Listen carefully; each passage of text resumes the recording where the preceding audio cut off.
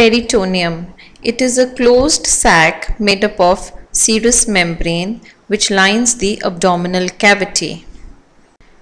The peritoneum is also invaginated by a number of viscera, hence subdivided into two layers. An outer parietal layer which lines the inner surface of the abdominal and pelvic cavity and an inner visceral layer which lines the outer surface of the viscera.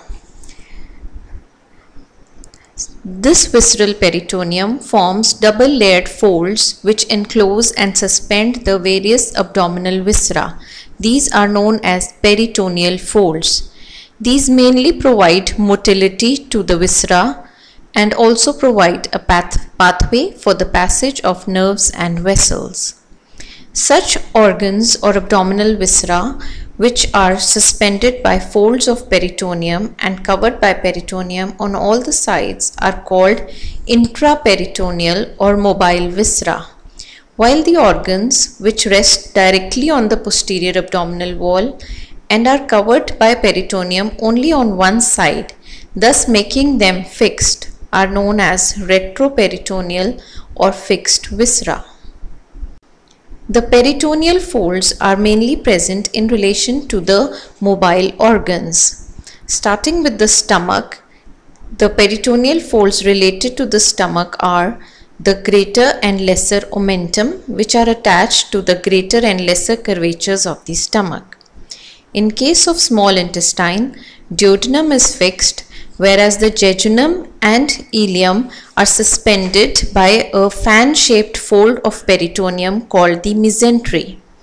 In case of the large intestine, the two mobile parts are the transverse colon which is suspended with the help of a transverse mesocolon and the sigmoid colon which is suspended by, with the help of the peritoneal fold called the sigmoid mesocolon. The appendix is also suspended with the help of a triangular small peritoneal fold called the mesoappendix. Ligaments are also peritoneal folds which are present in relation to mainly the liver and the spleen. Greater omentum. Omentum in Latin means like an apron. The greater omentum is the largest peritoneal fold which hangs from the greater curvature of the stomach just like an apron, hence the name. It covers the loops of the intestine which lie underneath it and it is made up of four borders. The upper border is attached to the greater curvature of the stomach.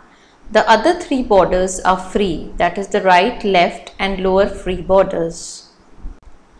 The tracing of the greater omentum is important. It is made up of four layers. The anterior layer also called the fourth, first layer is continuous with the peritoneum covering the anterior surface of the stomach. The posterior or the second layer is continuous with the peritoneum over the posterior surface of the stomach.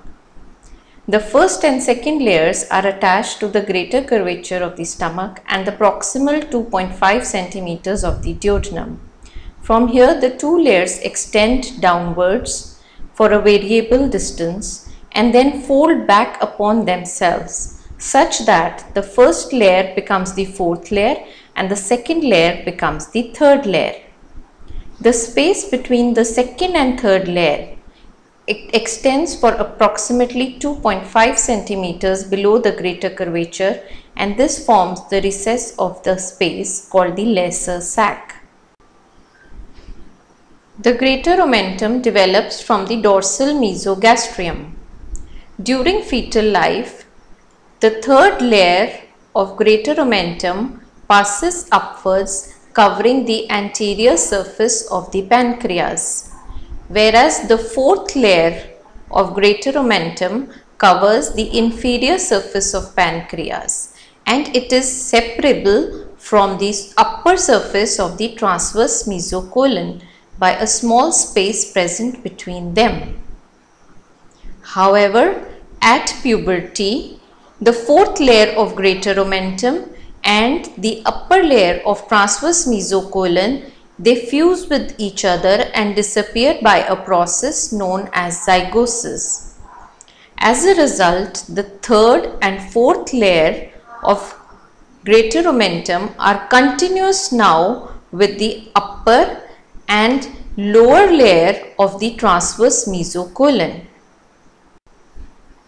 The contents of greater omentum are fat, macrophages which form milky spots and right and left gastroepiploic vessels which form a gastric arcade in the upper part and the epiploic arcade in the lower part of the greater omentum.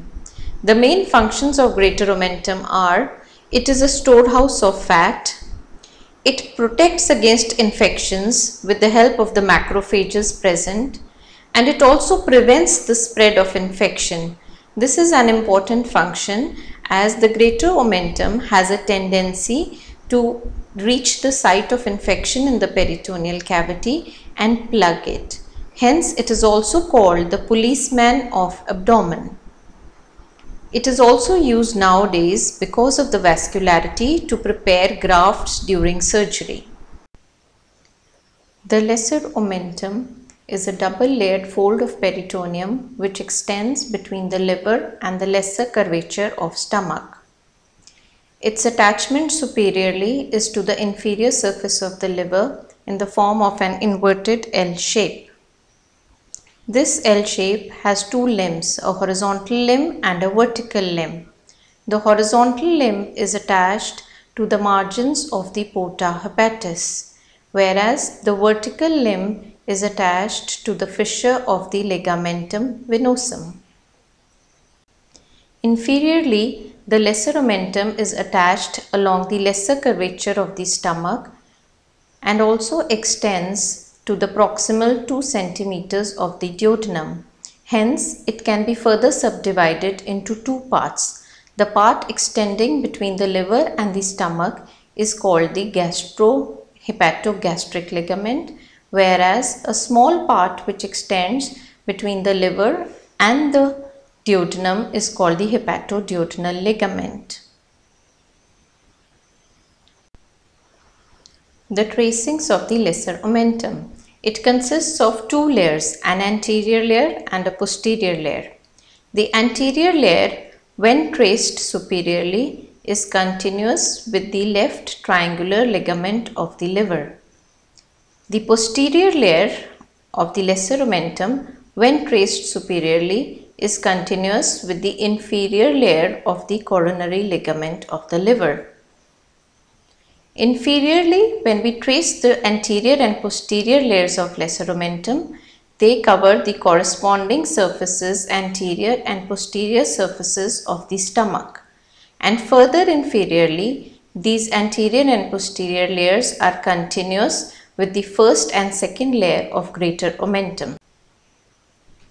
When traced to the sides, on the right side, the anterior and posterior layers of lesser omentum become continuous with each other along the right free margin.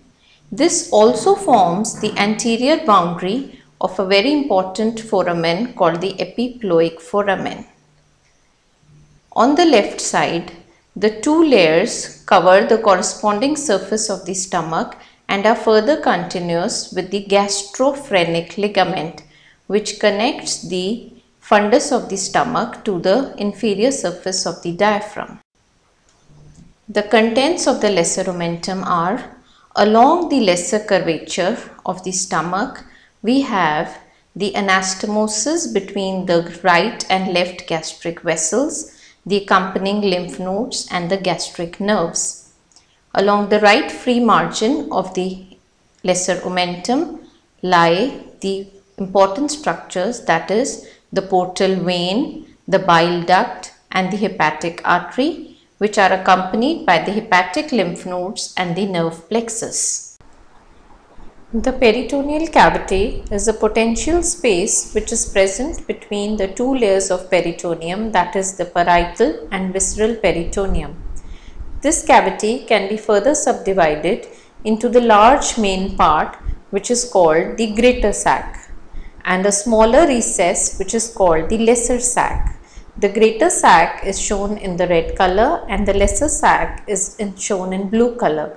The lesser sac lies just behind the liver, the stomach and the lesser omentum. The two sacs communicate with each other through a small foramen which is called the epiploic foramen or the foramen of Winslow. This epiploic foramen lies just behind the right free margin of the lesser omentum. This is the only communication between the greater and the lesser sac. The lesser sac is defined as a small diverticulum of peritoneal cavity which lies behind the liver, stomach and lesser omentum. It acts as a bursa to allow the expansion of the stomach, hence also called the omental bursa. The lesser sac is shaped like an hot water bottle. It is closed on all the sides except the right upper border where lies the epiploic foramen through which it communicates with the greater sac. The boundaries of the lesser sac comprise the two walls, the anterior wall and the posterior wall and four borders, upper, lower, right and left borders. The sagittal section through the lesser sac showing the vertical disposition of the fascia shows us the anterior and posterior walls of the lesser sac. Similarly, a transverse section through the, through the peritoneal cavity showing the horizontal disposition of the fascia shows us the structures forming the anterior and posterior wall of the lesser sac. Along with that, the structures forming the anterior and posterior boundaries of the epiploic foramen. These are important diagrams to be practiced by the students. The anterior wall of the lesser sac is formed by the following structures from above downwards the caudate lobe of liver, the lesser omentum, stomach and below it lies the greater omentum. The posterior wall is formed by the following structures from above downwards. The diaphragm, below it lie the splenic and celiac vessels, the left kidney and suprarenal gland, below it lies the pancreas, the transverse mesocolon and the transverse colon and the greater omentum. This is a section through the lesser sac after removing the anterior wall showing the four borders of the lesser sac. Starting from the groove for inferior vena cava, this is the upper border, this is the left border, this is the lower border and this is the right border. The upper border is the formed by the reflection of peritoneum from diaphragm to caudate lobe of liver, extending from the groove for inferior vena cava, fissure for ligamentum venosum up to the esophagus. The lower border is formed by the fusion of the second and third layer of greater omentum. The right border extends from the reflection of peritoneum along inferior vena cava. Below it lies the opening of the epiploic foramen Below it is the reflection of peritoneum along the gastroduodenal artery and the right margin of greater omentum. The left border is formed by the gastrosplenic and lienorenal ligaments related to the spleen and the left margin of greater omentum. The lesser sac contains two sickle-shaped peritoneal folds. These folds are the right gastropancreatic fold and the left gastropancreatic fold.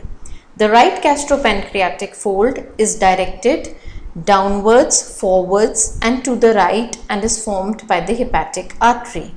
The left gastropancreatic fold is directed upwards, forwards and to the left. It is formed by the left gastric artery. These two folds subdivide the interior of the lesser sac into recesses. The superior recess, also called the vestibule of the lesser sac, it lies behind the liver and the lesser omentum. The part of the superior recess which lies behind the lesser omentum is sometimes given the name vestibule of lesser sac. The inferior recess also known as omental bursa proper. It lies behind the stomach and between the second and third layer of greater omentum. The splenic recess. It lies between the gastrosplenic and lienorenal ligaments of the spleen. It extends towards the hilum of the spleen. The epiploic foramen or the foramen of Winslow. It is a vertical slit-like opening through which the lesser sac communicates with the greater sac. It is also known as the aditus to the lesser sac. It lies just behind the right free border of the lesser omentum. In the picture, the finger can be seen inserted into the epiploic foramen.